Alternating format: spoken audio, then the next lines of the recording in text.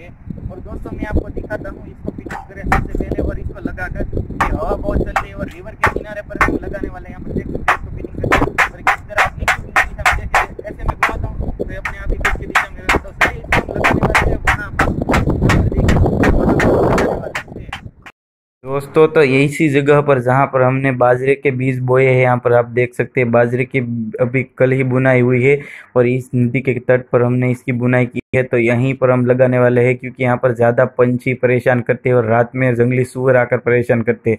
और इस इस जुगाड़ को कैसे बनाए, यहाँ पर देख सकते हैं, इसको पतरा बोल सकते हैं आप। इसको पतरा देखिए कि लोहे का पत्रे से हमने इसको बनाया है। यहाँ पर देख सकते हैं, पाइप को भी इसकी हुक से साथ स्क्रू लगाकर बहुत ही मजबूती से हमने फिटिंग कर दिया है। और यहाँ पर दोस्तों देख सकते हैं कि ये जुगाड़ पूरा का पूरा आप मेरे हाथ में देख सकते हैं, जैसे मैंने वीडियो में दिखाया है आपको। आपको मैं समझा रहा हूँ क्या, ताकि इसकी क्या है हवा बहुत चल रही थी तो मुझे फिर से रिकॉर्ड करके आवाज़ डालनी पड़ी। और अभी मैं आपको दिखा रहा हूँ कि जो भी मैं बोल रहा था, वो सुनाई नहीं दिया हेडफोन की वजह से भी यहाँ पर माइक्रो भी मेरे पास थे, लेकिन वो भी थे, लेकिन फिर भी नहीं सुनाई दिया। तो फिर से मैंने रिकॉर्ड करके यहाँ पर सुना है। तो दोस्तों, यहाँ पर मेरे हाथ में आप पाइप देख सकते हैं। यहाँ पर जिसका मैंने नोक बनाया है, जैसे कि ये ज़मीन में अच्छी तरह से फिट हो जाए, इसीलिए मैंने इसको इसका जैसे कि तीर जैसा बना दिया है। अब इसको मैं पहले गाड़ देता हूँ यहाँ पर ज़मीन के अंदर, क्योंकि ज़मीन एकदम गीली है। कोई भी जगह पर आप गाड़ सकते हैं इसको। जैसे कि हथौड़ा मार कर इसको गाड़ सकते हैं। तो मैंने यहाँ पर हाथ से ही गाड़ दिया, क्योंकि नदी के तट की ज़मीन है तो अच्छी तरह से ये फिट हो जाएगा। इसके बाद इसको मैं इसकी तरफ़ फिटिंग कर देता हूँ, जैसे मैंने वीडियो में दिखाया उसका कुछ भी नहीं करना है, इसे डाल देना है। और मैं इसको हाथ से पकड़ कर रखता हूँ। यहाँ पर देखिए पत्रा जो यहाँ पर नीचे आपको दिख रहा है, सोरस जैसा यहाँ पर पत्रा पीछे लगाया है मैंने। वो क्या है? वो दो काम करता है, जैसे कि हवा की दिशा को भी मापता है। यहाँ पर मैं दिखा रहा हूँ, अगर हवा की दिशा ये होगी तो ये खुद म खुद ये उल्टी होगी तो खुद म खुद ये इस तरह हो जाएगी। अगर इस तरह से होगी तो ये खुद म खुद अपनी दिशा में चला जाएगा। इसको मोड़ने की कोई ज़रूरत नहीं जैसे कि हवा का रुख अगर बदलता है तो वो बदले हुए रूप में खुद में खुद अपने आप ही चला जाएगा और पीछे लगा आपको पतरा दिख रहा है, जो कि यहाँ पर दिखा रहा हूँ मैं। वो मोड़ता रहता है अपने आप ही, यहाँ पर नीचे देखिए यहाँ पर जैसे कि पत्थर आपको दिख रहा होगा, लोहे का पतरा बोल सकते हैं आप इसे। जैसे कि यहाँ पर वो खुद म खुद अपनी दिशा में चला जाएगा। और यहाँ पर नीचे जो मैंने यहाँ पर ढक्कन आपको दिख रहा होगा, ढक्कन क्या होता है कि वो यहाँ पर मोड़ने में पाइप की ज़रिए वो मदद करता है, वो खुद में खुद ही मोड़ जाता है। और दूसरा जो उसका उपयोग ये है कि वो बजता भी इतना ज़ोर से है कि वो वहाँ पर सात एकड़ों तक आपको कोई भी पंछी या जानवर परेशान नहीं कर पाएँगे। जैसे कि रात में सूअर आते हैं और नीलगाय भी आती है, जो कि सूअर आते हैं और वो पाकों को खोद कर खा जाते हैं और पंछी दिन में आते हैं, जो बीज अभी ताज़े ताज़े होते हैं, उसको निकाल कर खा जाते हैं, वो आपको पाकों को नष्ट कर देते हैं। इसलिए आप को इतनी आवाज़ निकालेगा कि यहाँ पर कोई भी नहीं भटकेगा सात एकड़ों तक। तो दोस्तों, चलिए मैं इसको सलाह कर दिखाता हूँ। दोस्तों तो जैसे ही मैं इस पर सोच रहा हूँ तो ये खुद में खुद कितनी आवाज़ निकाल रहा है, आप खुद भी सुन सकते हैं। क्योंकि मैंने एक आवाज़ ऐड की है, फिर भी इतनी आवाज़ ज़ोरों से आ रही है। कि ये इतना बज रहा है, आप अगर कैमरे के बाहर होते तो ये आवाज़ को पूरी तरह से सुन पाते कि कितनी ज़्यादा आवाज़ निकाल रहा है और खुद में खुद ये अपनी दिशा में चला जाता है। दोस्तों, अगर आप इसको उल्टा रख देते हो, जैसे कि उल्टा घुमा कर रख देते हो तो खुद में खुद हवा की दिशा में खुद में खुद आ जाएगा और ये बजता ही रहता है। इसको तेज़ हवा की कोई ज़रूरत नहीं ये धीमी हवा होगी, वो भी चलता रहेगा। अगर कोई इंसान इसको हाथ नहीं लगाएगा तो इसको ये सालों तक ये ऐसे ही टिका रह सकता है, आपको पाक को बस